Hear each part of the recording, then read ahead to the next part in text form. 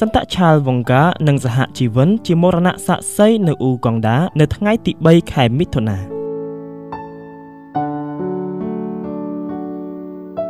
នៅឆ្នាំ1879ព្រះសហគមន៍កាតូលិកបានសាយភាយនិងរីករាលដាលនៅក្នុងប្រទេសអ៊ូកុងដាតាមរយៈលោកកាឌីណាល់ឡាវីការីហើយស្ដេចក៏ចាប់ផ្ដើមជឿលើព្រះជាម្ចាស់និងចូលរួមជាមួយព្រះសហគមន៍កាតូលិក តែក្រោយពីស្ដេចម៉ូតេសាបានចូលទីវង្គតបុត្រច្បងវ៉ាងហ្គាបានឡើងសោយរាជបន្តស្ដេចអង្គនេះហើយដែលជាស្ដេចបៀតបៀនគ្រីស្ទបរិស័ទយ៉ាងខ្លាំងនៅពេលឆាលវ៉ាងហ្គាអាយុ25ឆ្នាំលោកបានព្យាយាមការពារក្មេងៗពីស្ដេចវ៉ាងហ្គាហើយឆាលបានអប់រំជំនឿដល់ក្មេងៗក្រោយពេលដែលស្ដេចវ៉ាងហ្គាបានដឹងថាក្មេងៗជាច្រើនបានទទួលការអប់រំជំនឿកាតូលិកគាត់មានការខឹងសម្បាជាខ្លាំងទាំងឆាលនិងទាំងគ្រីស្ទបរិស័ទប្រមាណជា15នាក់ត្រូវបានស្ដេចហៅមកសួរថាតើពួកគេសុខចិត្តរក្សាជំនឿឬទេ ពួកគេឆ្លើយថាទោះបីជាស្លាប់ក៏ពួកគេមិនបោះបង់ជំនឿចោលដែរ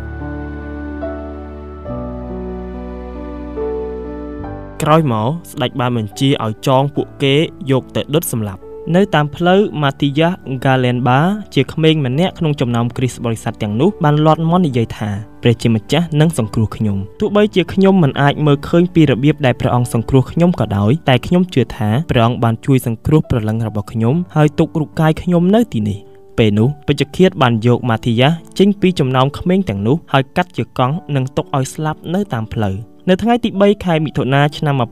1886ចំពេលបុណ្យព្រះអង្គម្ចាស់យាងឡើងស្ថានបរមសុខឆាលវង្កាត្រូវបានគេបំបែកចេញនិងដុតសម្លាប់នៅពេលឆាលវង្កានៅមានជីវិតនៅឡើយពួកគេសន្យានឹងដោះលែងប្រសិនបើឆាលសុខចិត្តបោះបង់ជំនឿរបស់ខ្លួនចោលឆាលបានតបទៅវិញថាតាមពិតអ្នកកំពុងដុតភ្លើងលើខ្ញុំប៉ុន្តែខ្ញុំត្រជាក់ហាក់បីដូចជាអ្នកកំពុងចាក់ទឹកលើរូបកាយរបស់ខ្ញុំដូច្នេះដែរ ទោះបីជាភ្លើងកំពុងឆេះយ៉ាងណាឆាលនៅតែបន្តអធិដ្ឋានដោយស្ងៀមស្ងាត់មុនពេលឆាលស្លាប់ឆាលបានញើយមុខឡើងទៅលើដោយនិយាយខ្លាំងខ្លាំងថាអូព្រះជាម្ចាស់ខ្ញុំអើយសហជីវិនទាំងប៉ុន្មានក៏ត្រូវបានគេដុតសម្លាប់ផងដែរពួកគេអធិដ្ឋាននិងច្រៀងលើកដំកើងព្រះជាម្ចាស់រហូតដល់ភ្លើងឆេះពួកគេស្លាប់